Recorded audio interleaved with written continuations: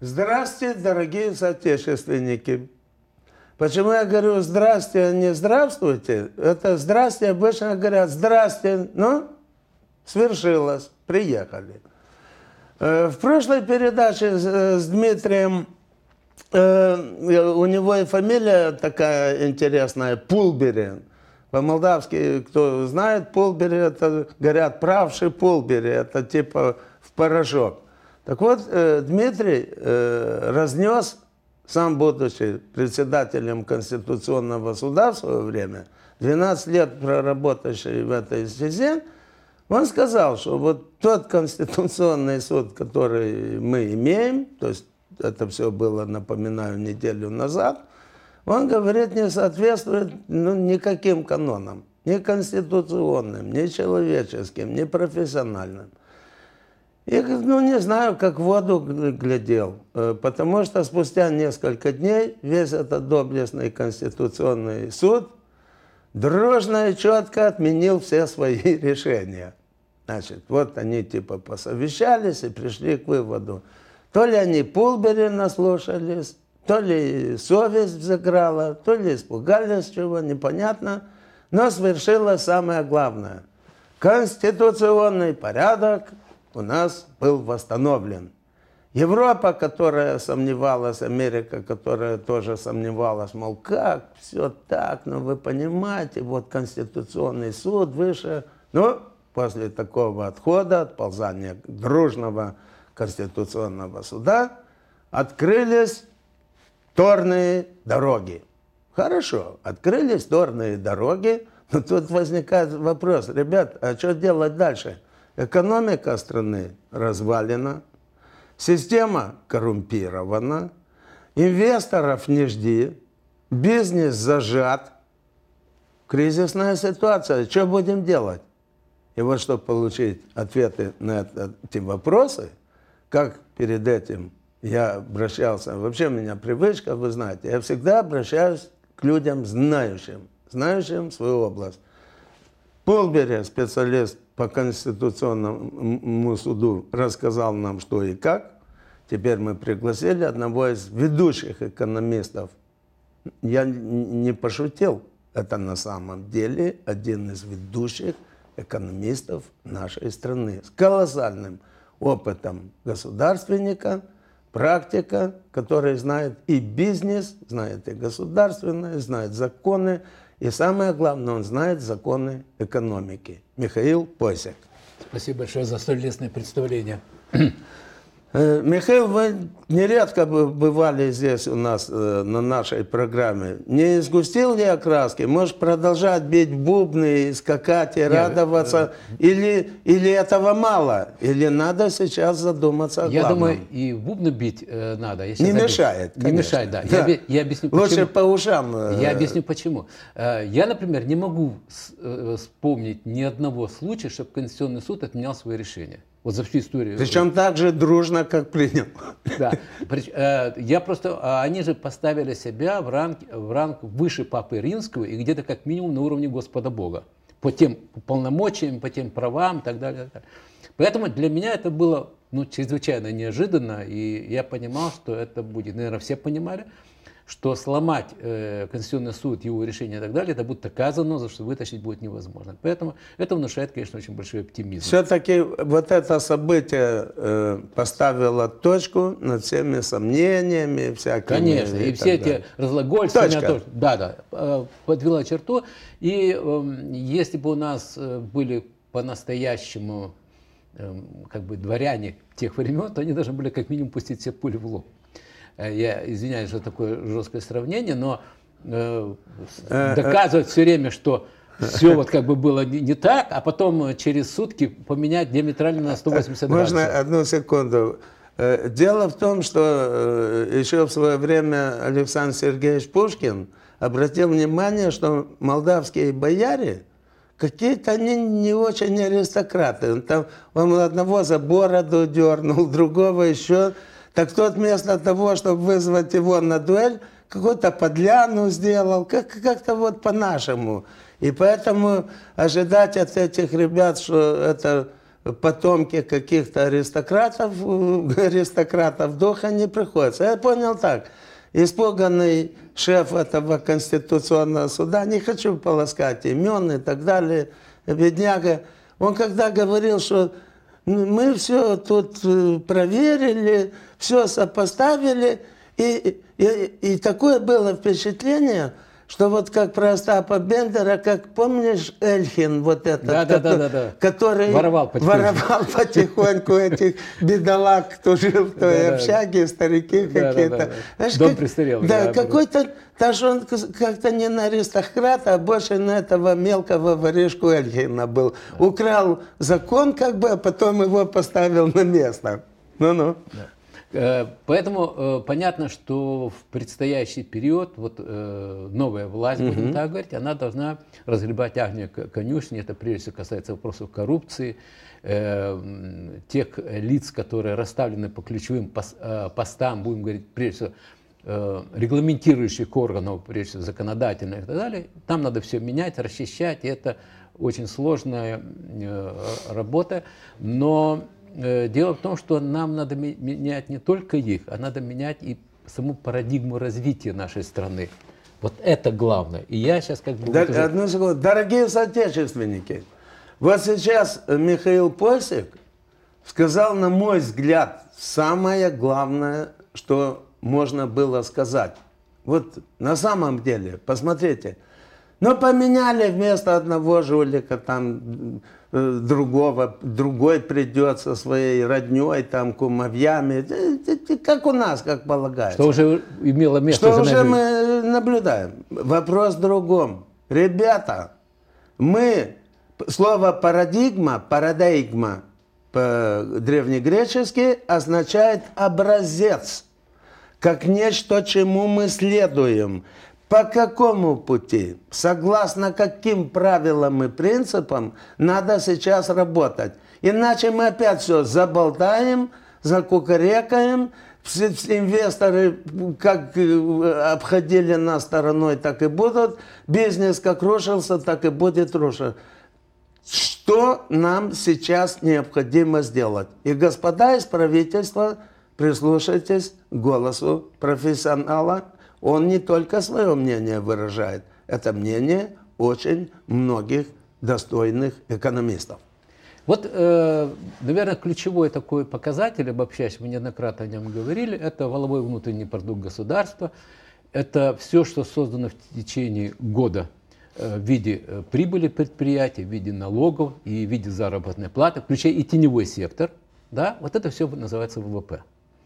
И вот, э, как ни странно это э, звучит, э, многие как бы, но мы, если взять э, 89 год, последний год советской власти, да, ВВП, если индекс брать год к году и так далее, мы достигли 70 79% уровня 89 года. То есть это минус 21%. Грубо говоря, ВВП, что многие люди есть, которые этих аббревиатур, ВВП, грубо говоря, в целом, это все те товары, услуги, ценности и так далее, которые производит данная страна. Не совсем так. Это Тогда доба- уточни. Это- Ибо это- ВНП, ВВП, Э, это волобо- разные воловой вещи. продукт. Я Да, еще- да, я да. еще- тогда еще раз повторю. Давай грубо и просто. Да, это, это добавленная стоимость, созданная в стране. Добавленная стоимость. Она выражается в чем? В заработной плате во всех секторах экономики, включая сектор. Проявляется как Да, бы да, в да, этом. да. А, все налоги Так. и прибыль предприятий. Вот это э, воловой внутренний продукт. Там есть три технологии расчета, но самый простой как бы для неэкономиста, для понимания, вот это как бы Но способ. э, э, чтобы наши люди понимали, что это не просто какое-то что-то добавлено статистики махинаций. Трудом. Трудом, да. Трудом и еще раз трудом. Потому что труд создал... На за- рабочих местах. Да. Потому что труд создал зарплату, труд Конечно. создал прибыль, труд э, уплатил налоги. Они махинации, там статистика и валюта. Да, да, да. Хотя там тоже есть определенные моменты, но это как бы отдельная Это тема. детали. Да, это отдельные де- детали. Но при этом, при этом я назову еще несколько цифр, таких дос- достаточно показательных.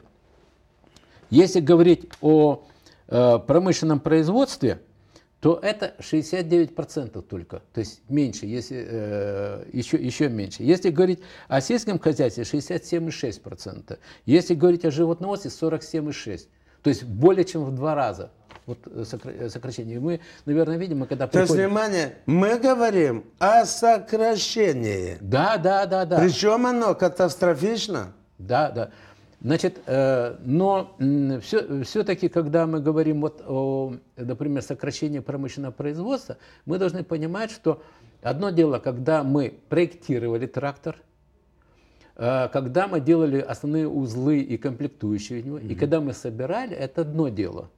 А совсем другое дело, когда мы получаем документацию, кто-то разработал, получаем комплектующие материалы и так далее, и мы только отверточные технологии собрали. Объем промышленной продукции большой. Вопрос, а добавленная стоимость мизерная. Да. А такой продукции мы вот за прошлый год э, произвели на 670 э, миллионов долларов. То есть это почти 20% промышленной продукции. Вы из промышленной продукции угу. снимите энергетику, снимите э, продукции сельского хозяйства, то есть пищевые да, продукты. Да. И что останется? Останется половина, вот, образно mm-hmm. говоря. Да. Вот mm-hmm. э, примерно, примерно такова ситуация.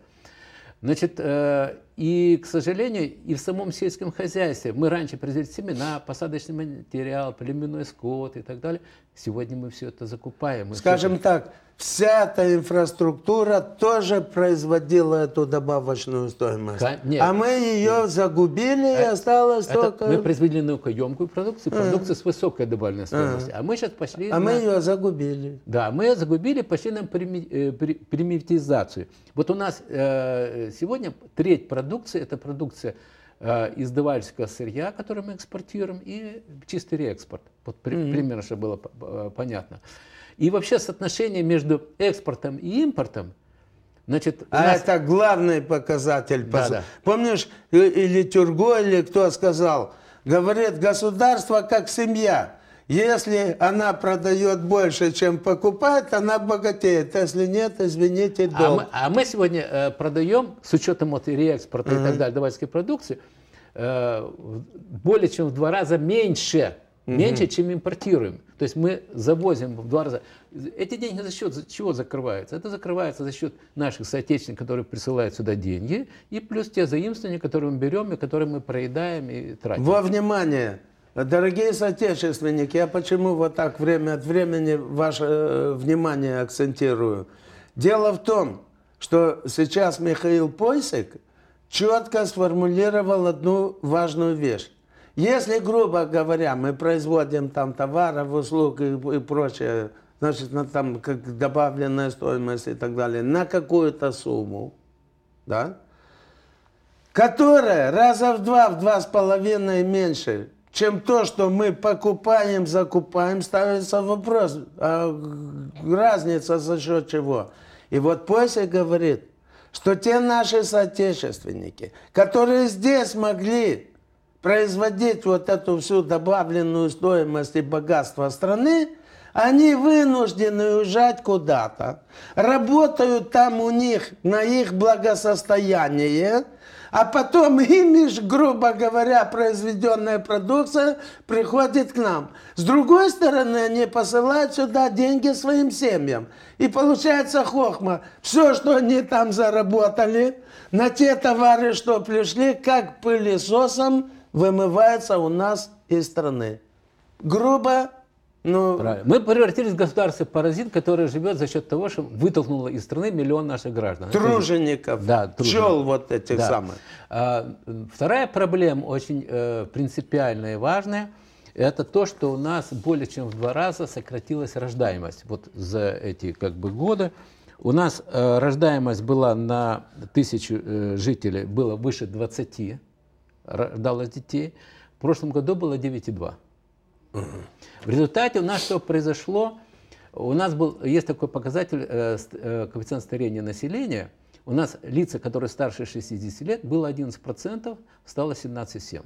А люди – это наше главное богатство. Да, да. И вот теперь я перейду, когда мы будем говорить о парадигме развития. Угу. То есть, То есть да, об образце, а, как да, бы, да, да. типе. Ключевой, ключевой угу. наш провал, ключевой провал. Угу. Мы должны понимать, что придет какой-то инвестор, мы его завлечем, он э, построит... построит Понаобещаем. э, да, он построит завод, и за год, за два промышленное предприятие можно создать.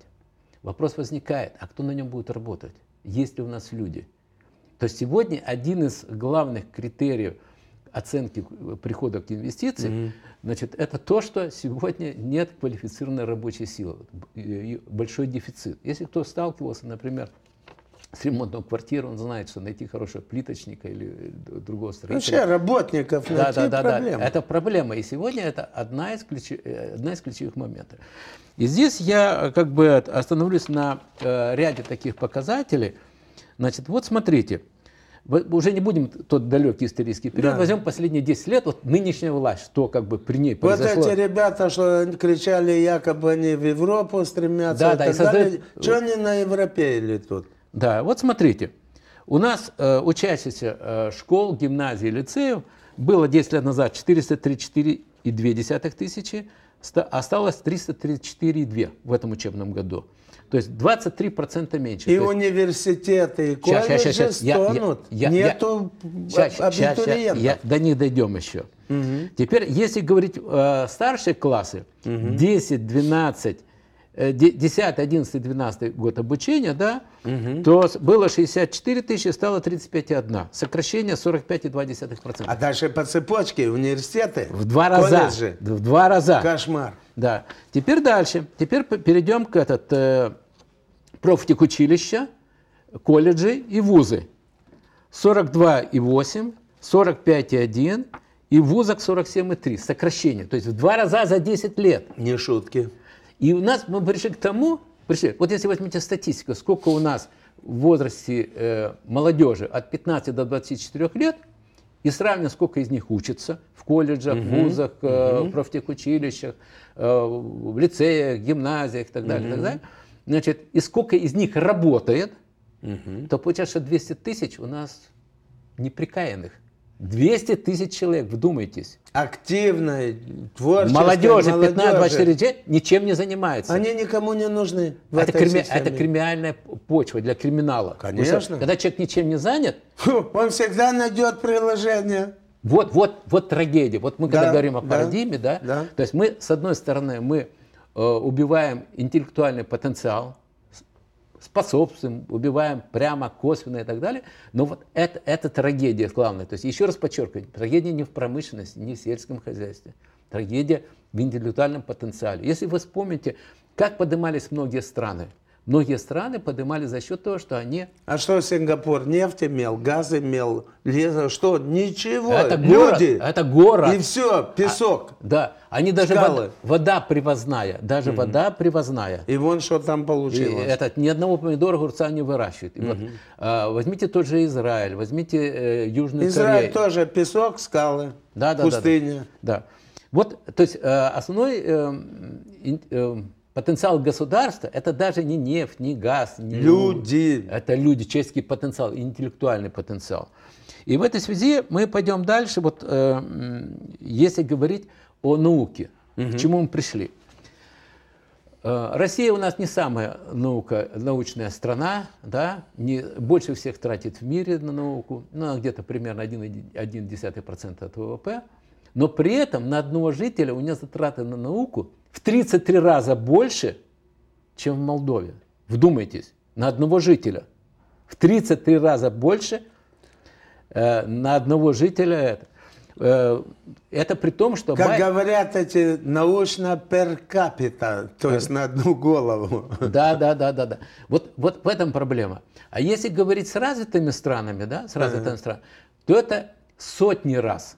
Сотни, сотни раз. А э, теперь маленький, э, Миш, э, как говорится, принцип историзма требует одну вещь. У нас что не было создано в свое время, еще при советской власти, научная база? Посмотри, Академию наук создали, институты при Академии наук, исследовательские институты. Дальше промышленные центры, которые на ВПК работали, да, военно-промышленный комплекс, да, инженеры. Откуда в Молдове до сих пор такой высокий, признают все иностранцы, уровень информатизации страны. Они говорят, мы думали, у вас банановая республика, у вас здесь такие продвинутые информационные технологии. Это все еще то, что не развалили Да. с тех пор. Да, да, да, Поэтому возникает такой вопрос.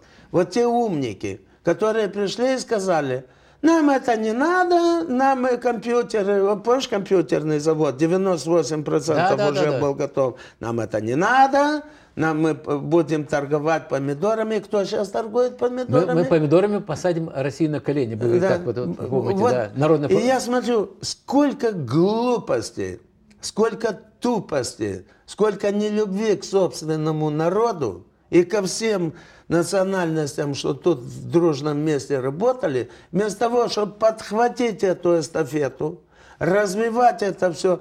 Пример, Белоруссия. Кто бы что ни говорил, не разворовали, не раз... Нравится кому-то батька Лукашенко, не нравится, тиран он или демократ. Белоруссия в современном мире идет в ногу, сохранив все интеллектуальные людей сохранили. Я не слышал, чтобы из Белоруссии кто-то разбегались, ученые головы вымывались. А я учился в Минском радиотехе. Я хорошо знаю, что там до сих пор, друзья там мы остались, все. Спрашивается, что это за парадигма такая, которая сказала промышленности нам не надо, науки нам не надо. Я помню, одна дамочка, профессорша, значит, выдала в парламенте, вот из этих либералов, она говорит, я вообще-то бы закрыла и сельхозинститут. У нас же сельского хозяйства фактически нет. Я говорю, молодец, девонька. Значит, разрушили одно, давай институт медицину разрушим, закроем мединститут. Сельское хозяйство почти надо, давай закроем. У нас с промышленности нет, давай политех. Все в чертой матери позакрываем и пойдем к светлому будущему. С чем? Я, с кстати, кем? кстати, приведу цифру. Скажи, логика нет, нет, идиотов. Нет, вот смотрите, вы примерно, ну, все знают, какой удельный вес занимает сельское хозяйство в нашей экономике. При этом ВУЗ наш, э, аграрный университет, готовит полтора процента из общей численности студентов. Полтора процента. Мы сегодня более трети, это юристы и экономисты. Но это формально, это, то понимаете? Э, которые, не, судя по нашему конституционному Ну, суду, не знают ни Видите? юриспруденции, а судя по нашей экономике, в экономике ни Да, черта это то- не смыслят. Почему? Потому что э, наука и образование это симбиоз. Конечно. Она- наука не может Вот, развиваться на- единство. на, на, голом Единство, месте. конечно. И образование может быть на голом месте. И, естественно, этот, все, все это, э, сам- само производство, оно подпитывается этими кадрами. То есть это, это симбиоз. Все это единое целое. И оно у нас было. И надо восстанавливать Да. теперь. И теперь вот э, коснемся, как продолжим то, что мы говорили по научному Пожалуйста. потенциалу. Значит, э, вот, э, вот то, что я называл наиболее, как бы больше всего тратят в удельном весе к ВВП, это э, Южная Корея и Израиль, э, 4,1-4,2% последние годы от ВВП. У нас в 2008 году было 0,57%, заметьте, да, то есть почти в 10 раз меньше. А в прошлом году э, 0,25. То есть даже и относительно. А если вот, э, это я назвал цифры, что в 30 раза меньше тратим мы на одного человека, жителя страны, чем в России. А Байден, если 4 года он сказал, что Россия это га- Бензоколонка га- бы га- га- он назвал га- колонка, колонка. которая претендует э, называть себя страной. Кого- Как же он тогда должен назвать Это Молдову? тот самый Байден, что со снайперами к нам приехал и историю успеха рассказывал. Да, да, да, Это да. кого Трамп сейчас имеет в виду. Значит, э, поэтому э, я хотел бы, чтобы телезрители понимали, что э, наша проблема, наша проблема, это прежде всего наш интеллектуальный потенциал, который мы, Конечно. который мы э, просто просли по нему. э, причем Как не, на- не надо, катком. да, не надо винить здесь Запад, говорить, что это какой-то Это Запад. мы, это, наша работа. Это, это наша работа. Почему? Потому что Запад, ему понятно, он хочет купить сырье, И да. продать свои товары и Гото- услуги. готовую продукцию. Конечно. Поэтому мы приходим в магазин, они такие говорят, ребята, мы все, что вам надо, мы- Пожалуйста. мы, все вам даем. Но за это надо заплатить. А заплатить мы чем можем? Либо... Деньгами гастарбайтера. Вот красиво. Да, да, да. Э, это главное. И э, есть еще один момент такой э, колониальной политики, я считаю, в том mm. плане такой неоколониальный. Это вымывание кадров. Ведь смотрите, что они говорят. Ребята, те, кто грамотный, кто а энергичный, энергичный, потенциальный. Мы возьмем, откро... мы дадим гранты, приглашаем к себе. А старики ваши и прочие нам не нужны. Да, да, да. Вот, да. И они, вот этот потенциал, поэтому вот, когда читаешь, например, когда наши молдавские ученые проявили себя на Западе и уже не мыслят о, о том, чтобы вернуться сюда. Конечно. Да, они создают ВВП той страны, той страны. Вот в этом трагизм.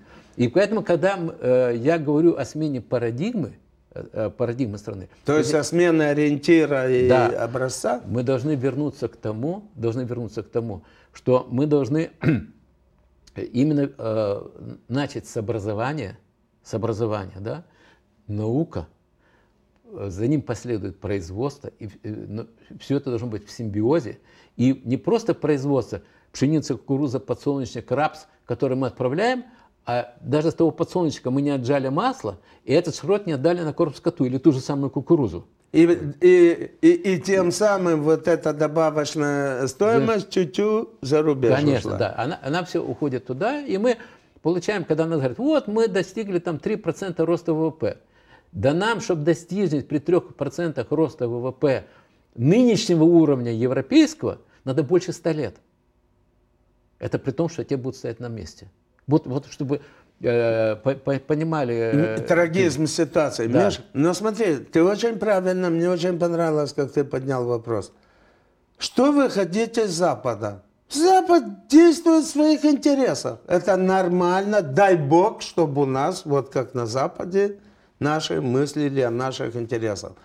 Но ты помнишь, когда подписывали с Евросоюзом вот по ассоциации? Да никто же не читал. А ну-ка вспомни, кто-то боролся за наше присутствие на их рынках, на условиях, чтобы это пошло на пользу стране. Вот Лянка, который я помню, счастливый стоит вокруг десант из кучи министров иностранных дел. И, там, и вот, что изволите, мы вам еще подписываем. Если ты министр иностранных дел, за каждый витамин, за каждую позицию, я повторял, вот у румын поучиться. Румыны за каждую позицию торговались. А наши, на, чего изволите? Я приведу... Э, так вот, этот парень, который, кстати, вот сейчас все на Шора катят бочки. А кто подписал эту знаменитую бумагу? Не он? Вот когда будет сидеть... Который всего лишь премьер. Да, который, он говорит, откуда я знаю, я там не пришел. Вот пока у нас будут такие министры иностранных дел, такие премьеры и такая вот вся эта шелупонь, прости меня за выражение, страна будет двигаясь якобы к Европе, на самом деле отдаляться и отдаляться и отдаляться от нее. Значит, смена пороги. Хотите быть европейцами? Делайте, как они. Поднимайте науку, образование, поднимайте все, что связано с инфраструктурой и так далее. Я так понял, твоя парадигма чему уходится? Хотите быть европейцами? Будьте им.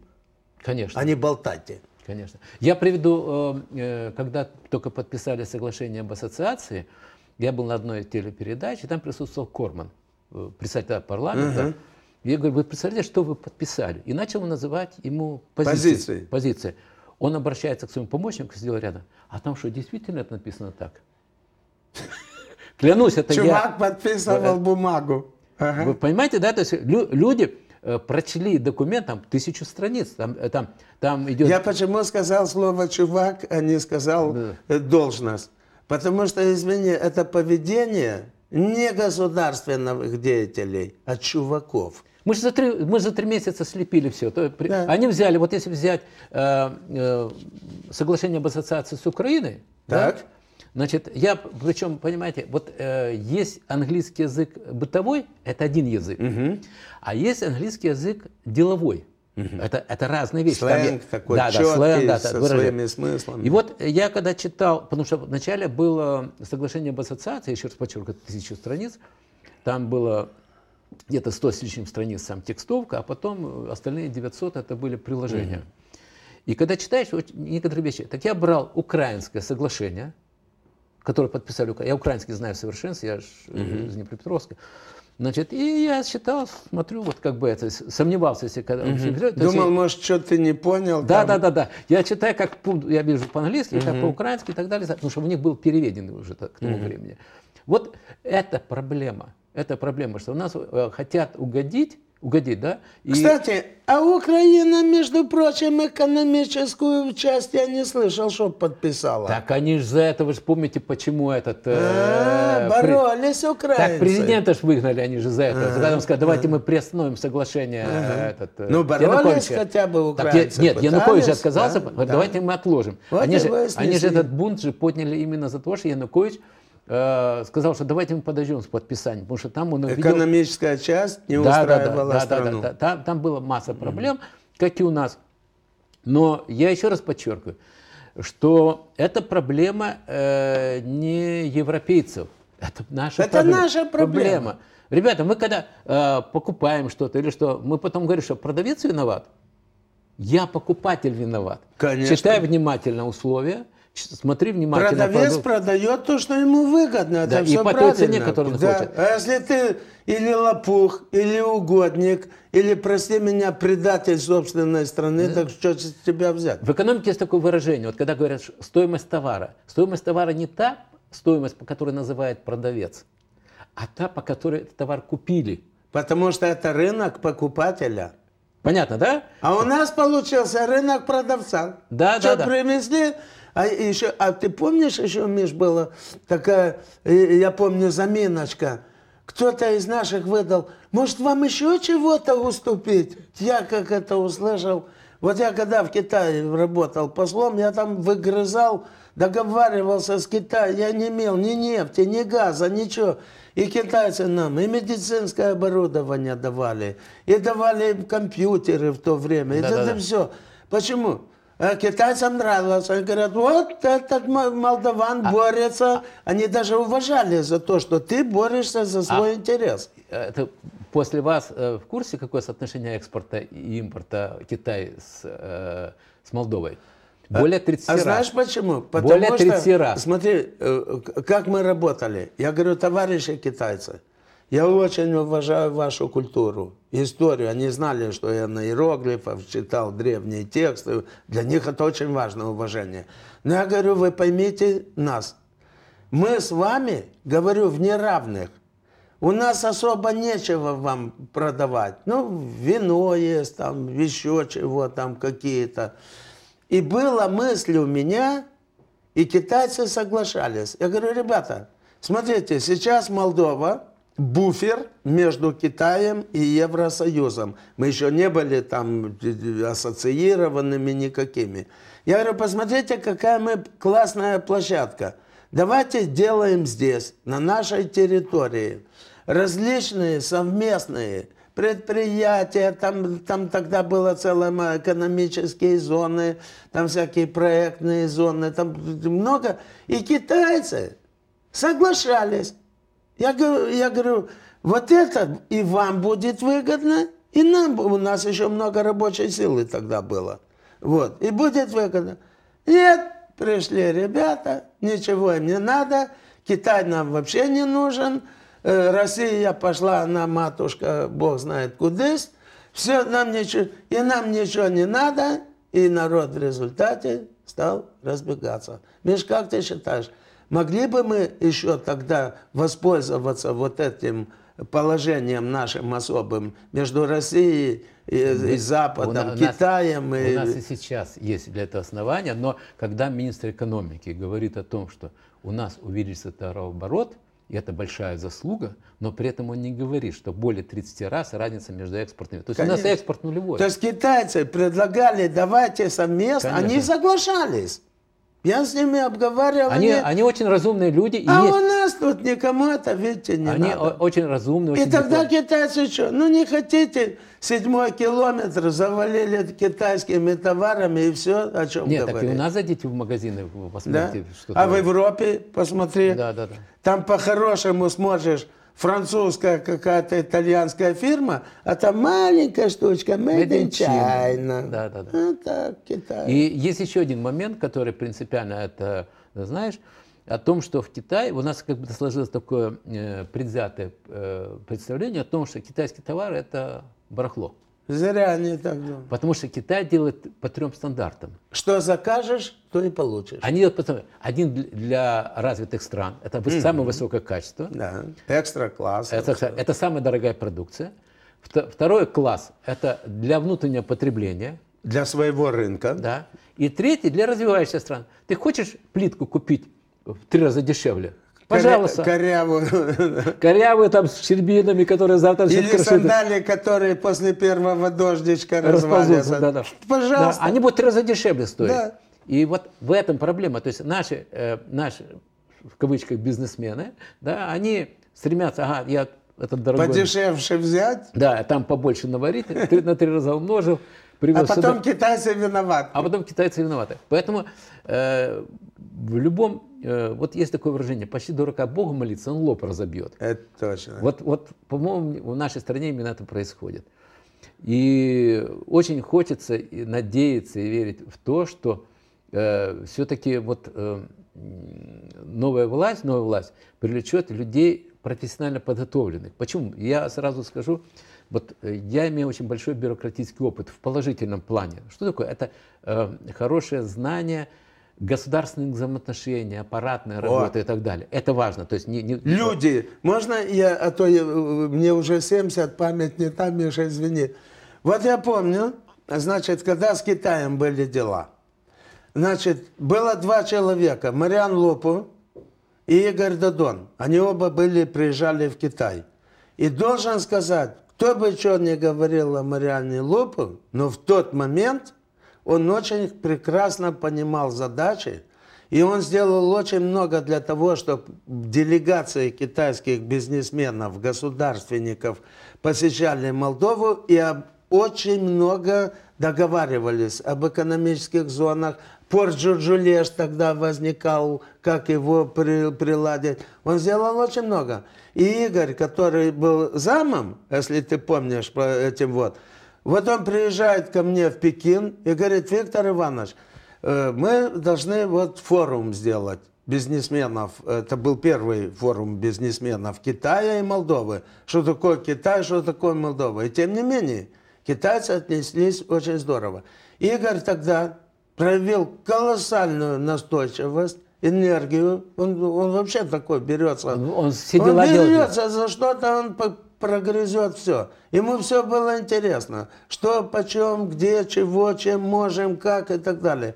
Прошел этот форум э, на очень высоком, так сказать, подъеме.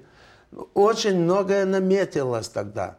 И, и вот и тогда должен сказать, что и Мариан, и Игорь, они про, э, колоссально. Я ничего не могу, никаких. Даже я еще удивлялся. Ты смотри, вот эти все как бы фантазии, люди поняли, что это не фантазия, это серьезно. Из Китая пошло. А потом что с этим всем сделали? Все угробили. Ну и время и Европа. Не понимая, что наша сила в том, что мы между ними и ими, между Западом Россией Запад и и этим, между Китаем и Европой и так далее.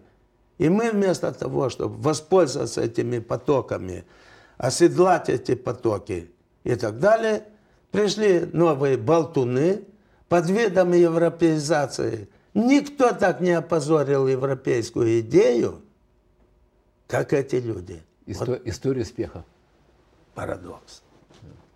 Я, э, То есть я о людях говорю, были правильно, люди правильно. нормальные. Э, Дело в том, что вот забывается, э, отсутствует понимание того, что любое производство имеет смысл только тогда, когда есть кому продать. И э, я это неоднократно говорил и повторяю, но очевидно это не, не все как бы это могут воспринять, потому что на Западе есть один вид товаров, который они могут наш покупать и будут покупать, а на Востоке совсем другой, который мы никогда на Западе продавать не будем. Мы должны понимать очень хорошо, что мы очень сильно отстали технологически от них. Очень сильно отстали технологически. Э, плюс теперь мы отстаем уже интеллектуально, вот то, что я называл цифры и так далее. А это звоночек. Да. И очень интересно, например, Запад этого не предлагает, а ведь э, э Восток, прежде всего Россия, он, они предлагают не просто построить здесь завод, а взять на учебу э, молодежь обучить в вузах. Не готовеньких отсасывать, а учить да. и, и вот, помогать. И вот э, в этом пример Гагаузии. Они же строят завод светотехнических изделий в Гагаузии, да, и там э, молодежь именно будет обучать. И уже взяли это на обучение в Москву, там несколько сот тысяч э, долларов э, завод светотехники и так далее. Самый, для экспорта продукции в Европу. Вдумайте. То есть Россия понимает, что она все время под санкциями, у нее есть проблема, а так продукция произведена в Молдове. Молда... Молдова. Молдавскими специалистами. Да. У нас открытый рынок, и как бы... Очень вот, разумно. Вот, вот, как бы и вот. нам выгодно. Да. И китайцы также хотели, чтобы было не made in China, а made in Moldova. Да. да. Вот, вот в, в, в этом проблема э, нашей страны. Поэтому я уже как бы заездил это слово насчет парадигмы, да? Угу. Но мы должны именно развернуть вот э, понимание ситуации, вот в каком мы находимся. И возвращаясь к тому, что я начал говорить о том, что о бюрократическом опыте, какая, какая главная проблема сегодня? Угу. Тоже пришли э, новые люди, они, как правило, без бюрократического опыта. Тем более вот э, нынешняя власть, вернее, прошлая власть, она что наделала? Она из тех министерств э, почти половину разрезала, как бы порезала, угу. сменила людей, э, пришли э, люди, которые абсолютно не знают и не знакомы и так далее. Может быть, они хорошие, может быть, они и учились Но хорошо. профессионально безграмотные. Да, вот в этом проблема. И вот уже столкнулись, вот сейчас э, открыли этот, э, сейчас хотят опять делить министерство, вы знаете, да, образование. Ох, любим да, да, да, да. Ох, да. Делить, Я в таких случаях всегда вспоминаю учителя моего по жизни еще в те далекие времена. Он мне говорил, Миша, все реорганизации делать не для того, чтобы было лучше, а для того, чтобы убрать ненужных людей, поставить нужных. То есть опять возвращаемся к людям. Да. Михаил, я, э, если вот для наших дорогих соотечественников как бы просуммировать э, вот то основное, что ты сказал. Первое. Дело не в лозунгах, дело не в партийных этих флажках, а дело прежде всего в самих людях. И не просто в людях, потому что без людей вообще ничего нигде не делается, а людей, заточенных на новые подходы, как ты сказал по-научному, парадигмы развития, которые основаны не на том, чтобы быть чем-то придатком, который производит э, человеческий капитал, заметь, не людей, капитал. То есть это не люди, а какие-то фишки из которых самые активные, креативные, образованные, за наш счет выпистанного нашими матерями, отцами, бабушками, дедушками, который бы пошел обогащать э, за границу, а у нас здесь выходит, что остается какая-то непонятная зона, где только одни старики, люмпины, всякие деклассированные ребята и молодежь, желательно без работы, которая якшается, наркота, баловство, буза, криминалитет и так далее. Так вот, если я правильно понял вот то, что ты сказал, э, это твой призыв к новым, э, с одной стороны, э, министрам, к новым государственным деятелям, что, ребята, перестаньте бегать и махать вот этими... Лозунгами, э, флажками. Э, да, мы, мол, Европу и так далее. Не надо хотеть в Европу. Мы и так в середине Европы сидим, ножки взвесили между Атлантикой и Уралом. Нам надо, чтобы наконец мы поняли, мы и есть эта Европа, как и Россия, кстати, вот тоже от Урала, как и Украина, как и Румыния, как и Болгария, как и Франция, как все, мы все есть европейский континент. И если мы хотим быть европейцами, то надо начинать с того, что менять вот это на кого-то, а как они? Европа делает сама себя у себя дома. У нас есть свой дом, и мы должны о нем заботиться. Значит, образование, э, развития науки, технологий, вот ты говорил, Да, да, да. как я понял. Вот. И э, самое главное, не, не заболтать, не погубить это дело, а не там опять смотреть, куда на ножа засунуть или фина и так далее, а чтобы поставить людей, которые решали вопросы. Если я как бы от имени телезрителей попытался как, Всё как бы абсолютно верно. понять вот суть. э, Экономика в переводе на русский язык означает хозяйствование. Мы должны быть хозяевами этой жизни. Огромное спасибо. Вот на этих прекрасных словах Михаила Постика, что экономика – это хозяйство, и мы должны быть хозяевами. И когда, ты помню еще в те годы, когда разваливался Советский Союз, бегали тут одни чудики. Эй, носим тем хозяин цара Ностра. Если ты хозяин, так будь господарь, а не разгильдяем который растаскивает все, и дети которого бегут из его собственного хозяйства. А ради детей, ради наших внуков, мы это и должны делать. Потому что главное богатство страны, как совершенно четко сказал, заметьте, не гуманитарий какой-то там, поэт и прочее, а экономист Михаил Посик. Главное богатство страны – это люди. Люди, я люблю вас, будьте бдительны.